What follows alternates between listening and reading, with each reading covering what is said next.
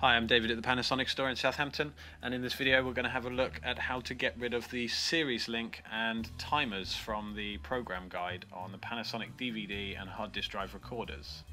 You can see here on the Sky News that there's a little red clock showing that this is a timer for this program and further on at uh, 7.30 we've got a red S and that depicts the series link timer so it will constantly record this until we tell it to stop. If I press the return button to come out of the guide, on the top right hand corner of your remote control you'll find a prog check button.